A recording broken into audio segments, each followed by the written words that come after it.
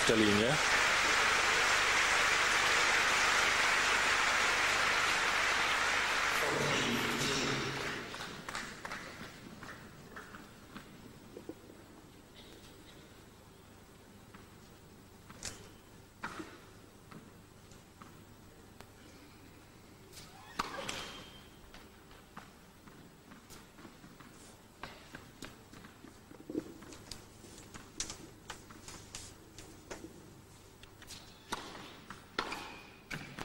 Und er ist draußen, damit verkürzt Panowa auf 3 zu 5. Jetzt aber muss das Break her, wenn sie ihre bislang gute Leistung im ersten Satz vielleicht sogar noch krönen will.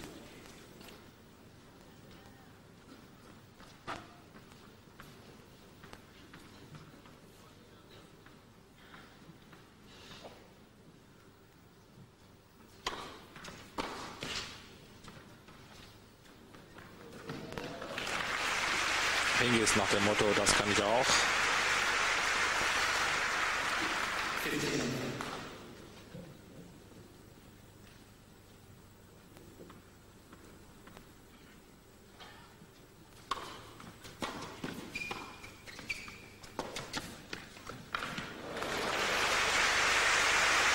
Sie merkt schon, dass sie da womöglich einen Gang zulegen muss, Martina Hingis. Nicht zu leicht nehmen darf, diese Aufgabe.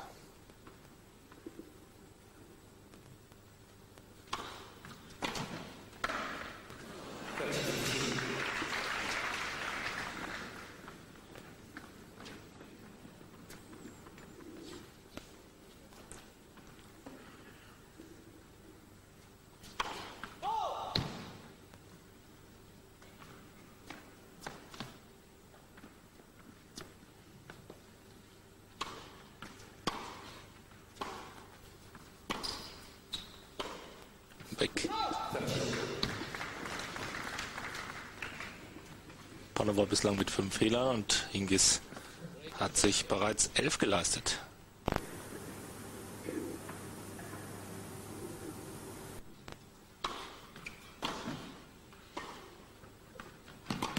Der passt. Die fünfte Breakchance für Dirosin. Angriffsball von Hingis nicht gut genug.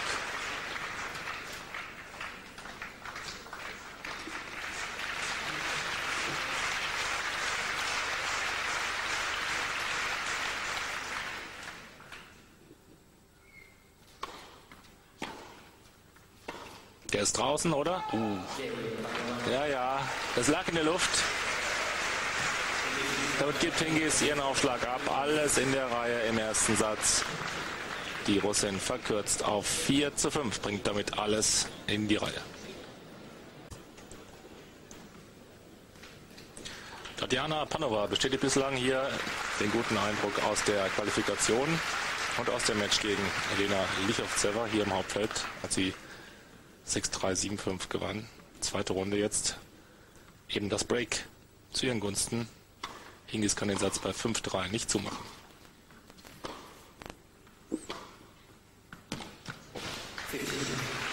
Und ihr Spiel bleibt präzise.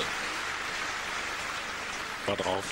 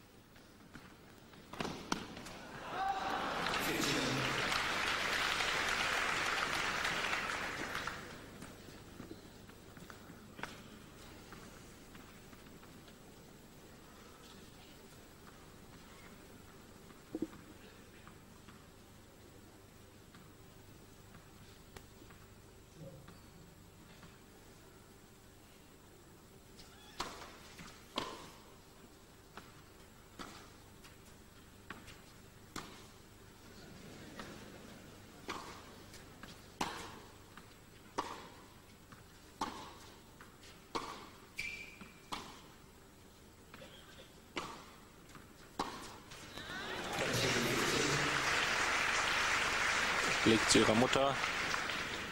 Versucht da mal das Tempo rauszunehmen, um dann womöglich wieder anzuziehen. Aber noch nicht so ganz ihr Tag. Fehler Nummer 13.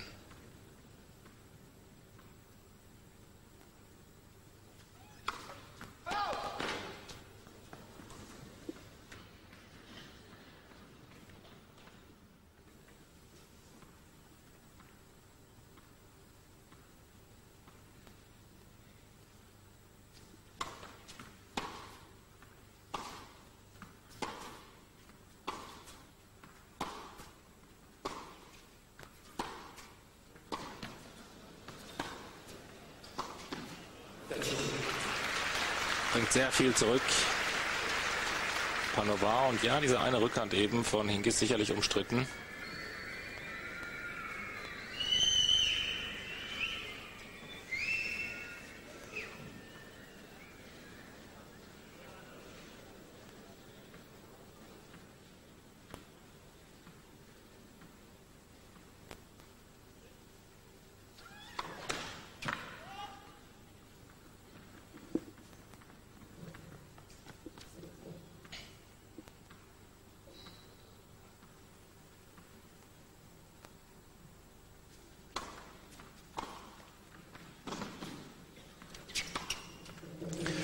Da spürte man förmlich den Druck, den Hingis auf Panova produzierte oder projizierte.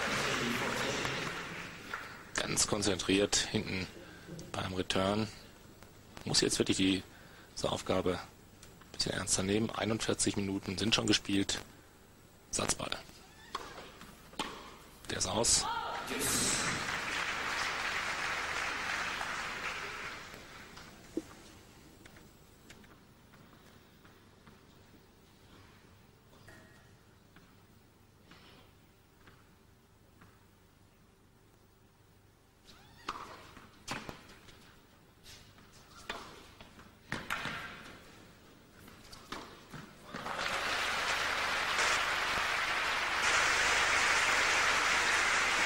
ein Energiebündel. Diese Tatjana Panova jetzt mit der Chance zum 5 beide. Schwere Auftaktgegnerin.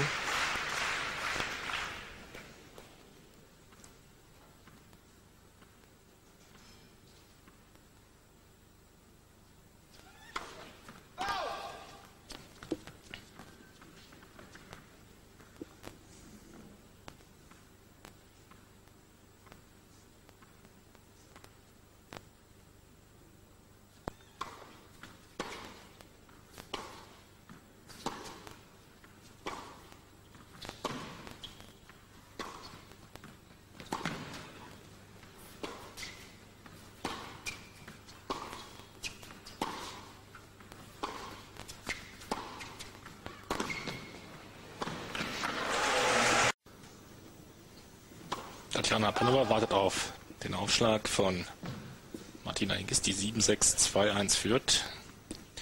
In diesem Zweitrunden-Match von Zürich.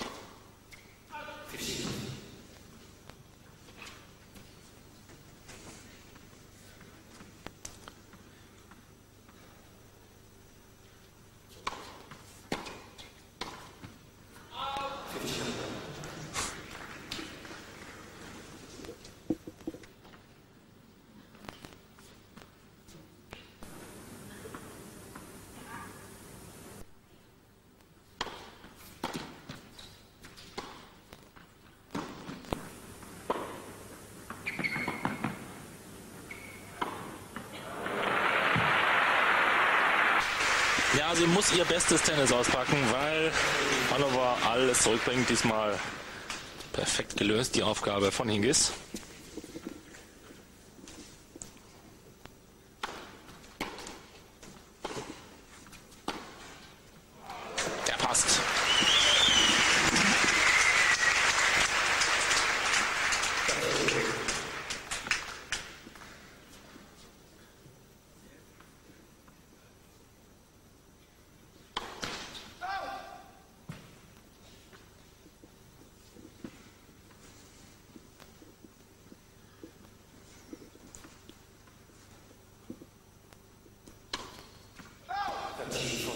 Der Doppelfehler zum 30-40.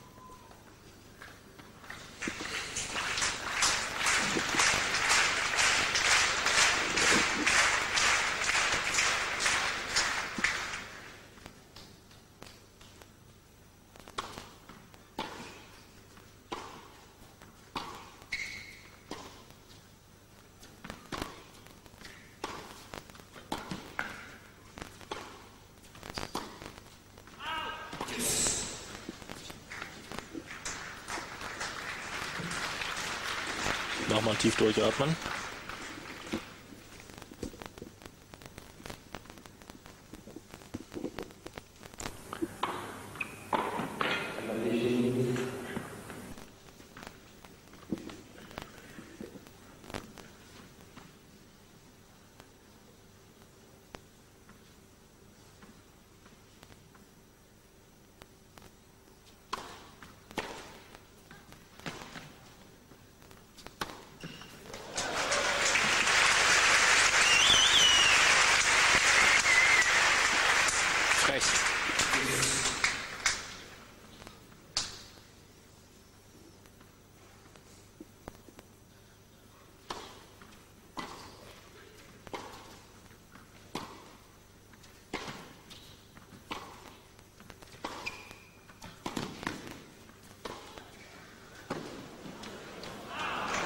Oliver spielt fast alles mit guter Länge, wird ganz selten mal zu kurz.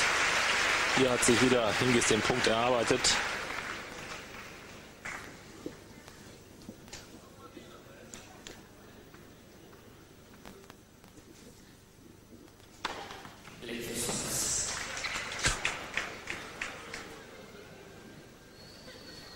Endlich mal ein leichter Punkt gewesen für Hingis und er sagt, ich kann nichts dafür. Ich sehe es hier auf meinem Monitor, da leuchtet ein, flackert ein Lämpchen auf.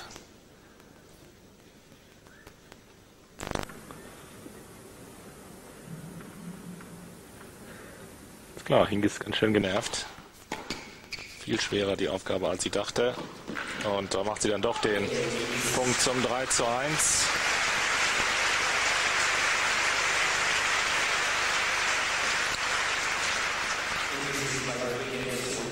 wirkt jetzt ein bisschen selbstbewusster als im ersten.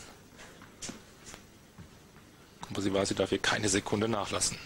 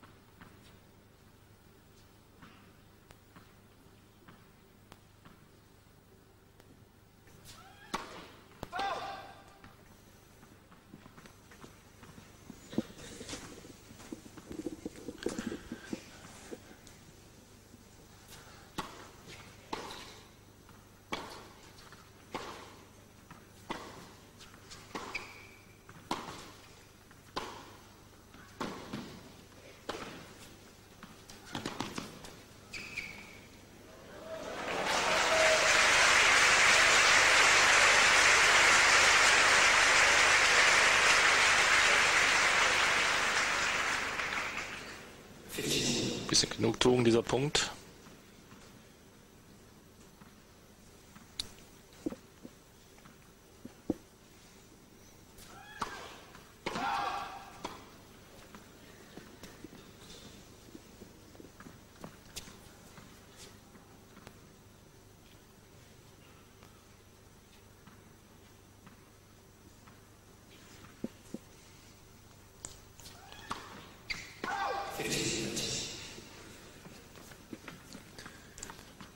Fehler Nummer 4.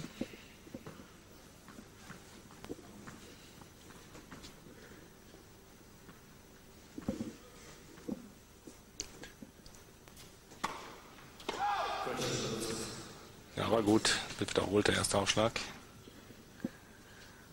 Einige Fehlentscheidungen in diesem Match.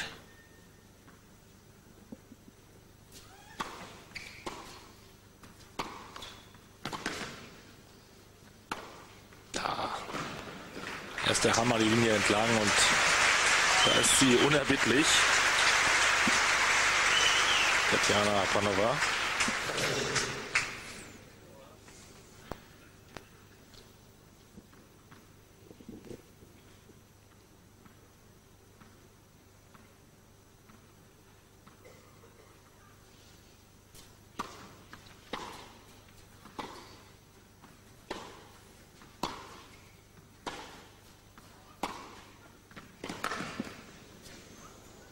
Die sind unglaublich präzise, diese Bälle.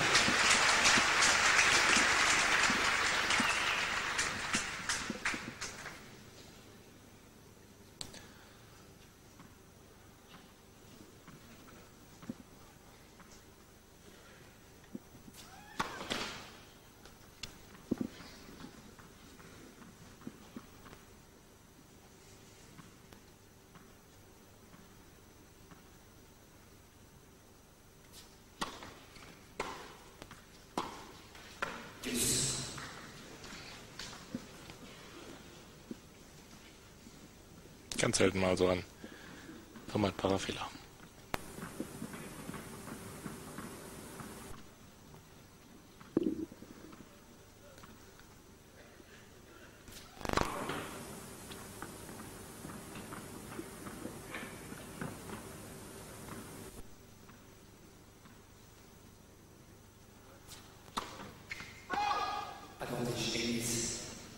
Nochmal die Brechmöglichkeit, weil jetzt ein paar ganz kleine Konzentrationsfehler im Spiel von Tatjana Panova sind.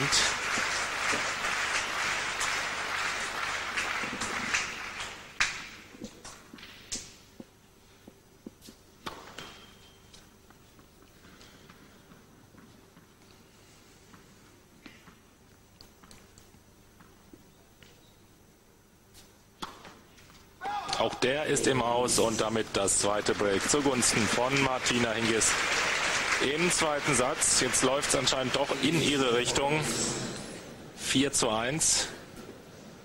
Tja, da bringt sich vielleicht Tatjana Panova selbst um die Früchte ihrer Arbeit. Glänzend gespielt und das weiß natürlich auch Martina Hingis, die vielleicht nicht am Limit agierte, aber auch ganz schön an der Grundlinie festgenagelt wurde von einer Russin, die mit Sicherheit ihr bestes Tennis gespielt hat. In der Quali glänzte, gegen Lichovceva glänzte, hier im ersten Satz gegen Hingis super starkes Tennis geboten hat, absolut mithielt und jetzt durch unnötige Doppelfehler mit zwei Breaks ins Hintertreffen gerät im zweiten Satz.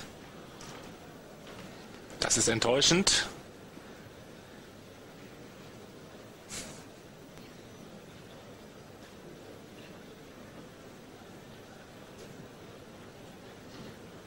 So stark aus der Defensive herausgespielt und dann, wenn sie die Chancen hatte, gepunktet mit der Vor- wie mit der Rückhand. Kaum Schwächen offenbart.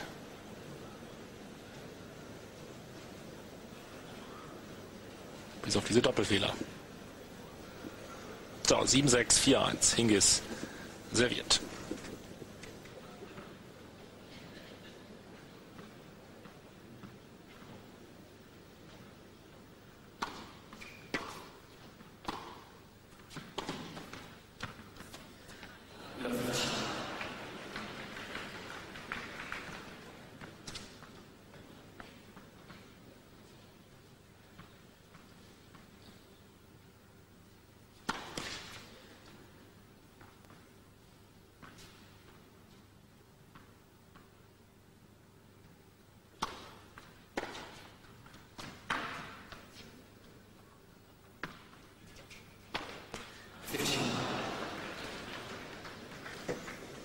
Wäre ihr womöglich im ersten Satz nicht passiert.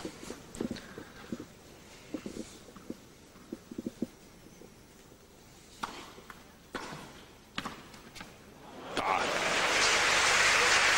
Der beste Ball, den Hingis in diesem Moment spielen konnte. Dieser Halbflugball. Perfekt. Viel Gefühl und Intuition.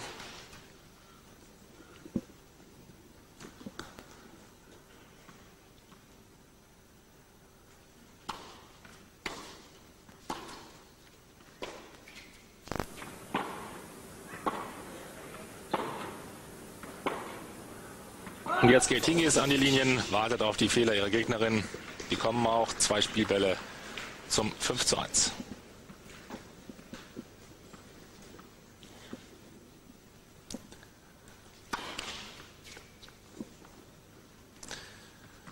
Da hatte Hingis gesehen, dass Panova sich in die Vorhandecke orientierte, weil sie fast immer dorthin serviert.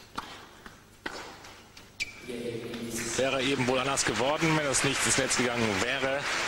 Aber der Punkt bzw. das Spiel dann geht eh an Hinkes zum 5 zu 1.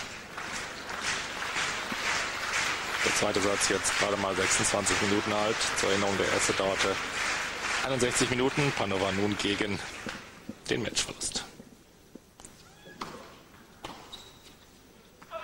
15.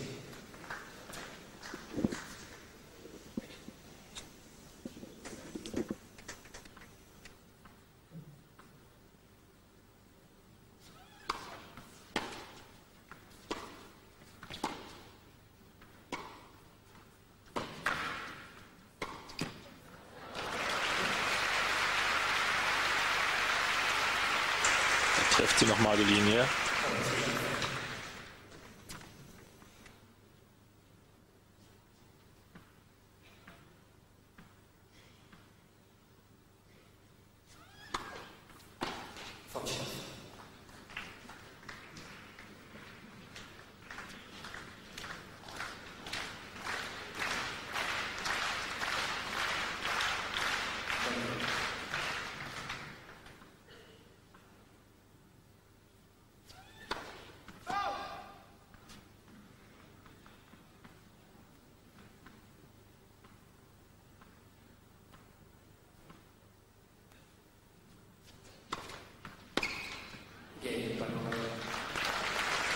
Das war alles ein bisschen überhastet von Martina Hingis. Da hat sie sich womöglich, wie man das ja oft sieht, schon konzentriert auf das jetzt kommende Aufschlagspiel. Es könnte das letzte sein. Sie hat ja auch im ersten Satz 5-2 geführt. Martina Hingis dann 5-3 servierte zum Satzgewinn. Denkste, Panova konterte und sie wird sicherlich nach diesem Spiel gleich nochmal alles versuchen, wirklich alles riskieren um vielleicht doch noch im Geschäft zu bleiben. Ja, das waren ein paar Bälle eben von Martina Hinkes, wo sie dann wieder zeigte, wer hier Herrin im Haus ist. Melanie Molitor, jetzt kann sie wieder ein bisschen lächeln. Im ersten Satz sah das doch zeitweise etwas anders aus.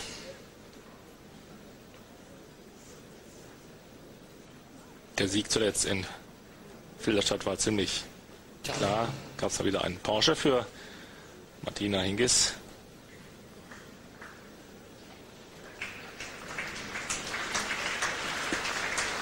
Neben dem Preisgeld. So, jetzt hat sie es in der Hand. 7-6, 5-2. Sie dürfte halbfroh sein, wenn sie dieses Match hier beenden kann. Aber natürlich Panova mit dem Return an die Linie. number two.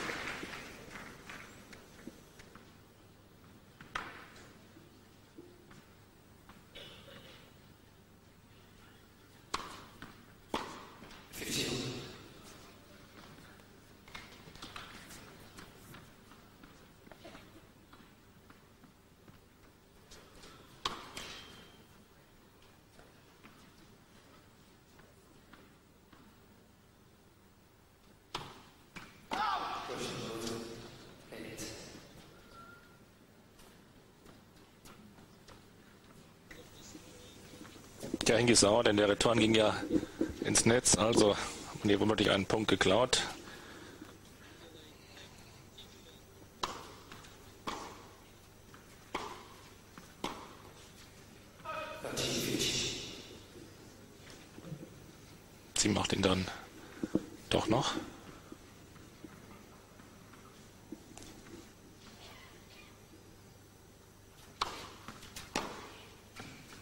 Und der Return geht ins Aus. Eine Stunde und 31 Minuten. So lange stand sie selten in der letzten Zeit in einer ersten Runde auf dem Platz. Zwei Matchspiele.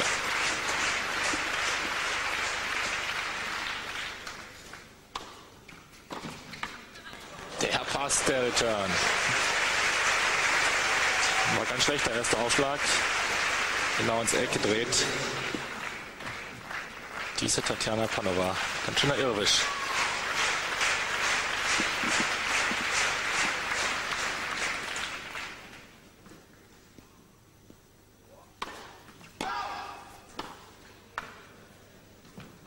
Hingis über den zweiten.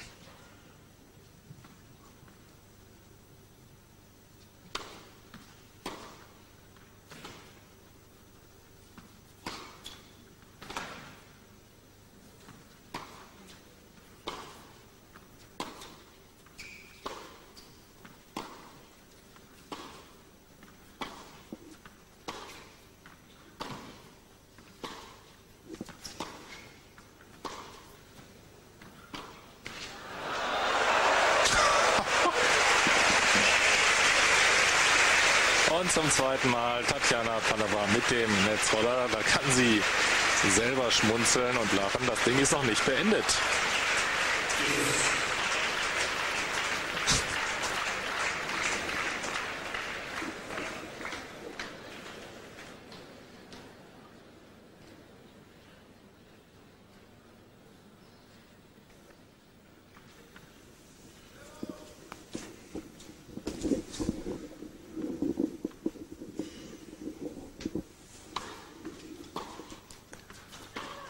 Und der ist draußen.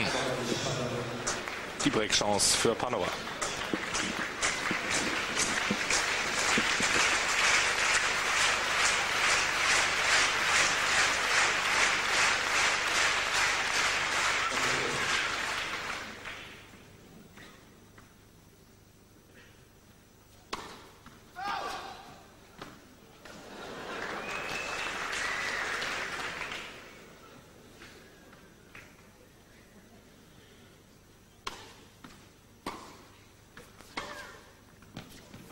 zu gut.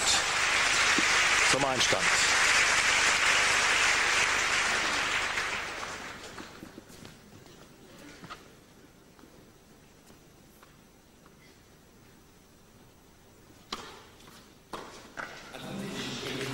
Und nochmal der Matchball, weil Panova es nicht mit der Vorhand, sondern diesmal mit der Rückhand spielt. Weiß nicht warum, da war sie nicht gut beraten. Eine Stunde 34 Minuten gespielt. Und er ist draußen.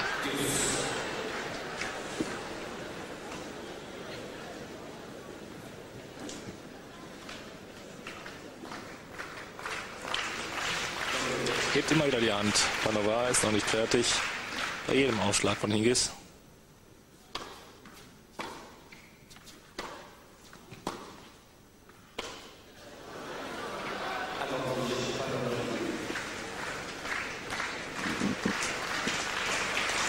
Ohne Worte.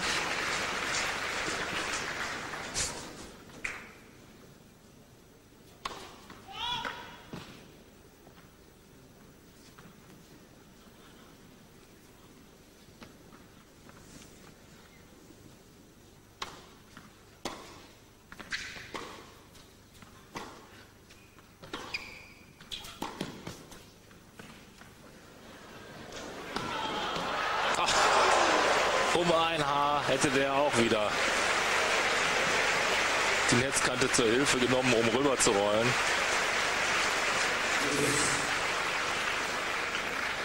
Zum vierten Mal Altstand.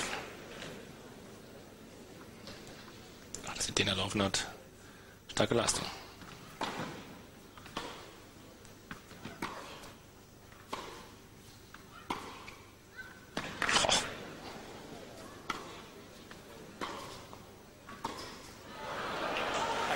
Ich eben schon sagen, sie macht einfach keine Fehler, jetzt aber doch.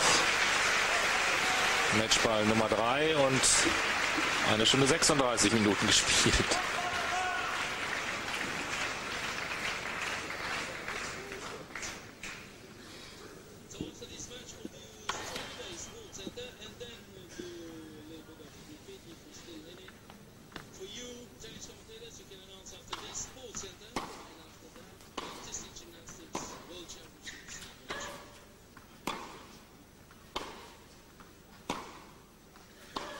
Das ist es.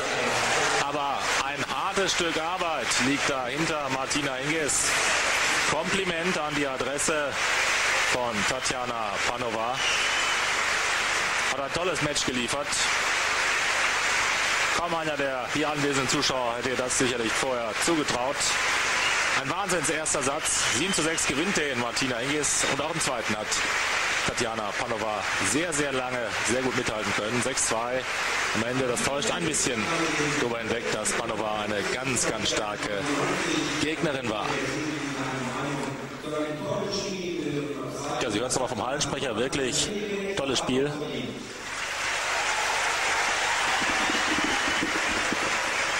Da haben wir es nochmal, den Matchball nehme ich an.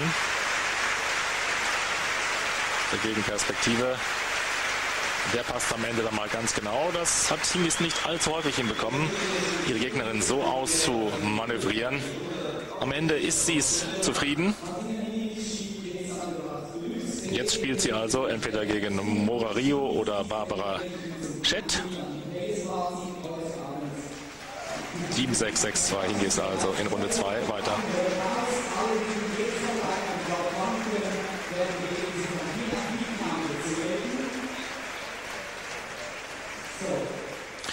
So, morgen, wir haben es Ihnen ja bereits gesagt, das Programm, wir werden es auch gleich nochmal einblenden. Während hier Martina Hingis noch einige Tennisbälle signiert. Hier geht's los mit Anke Huber und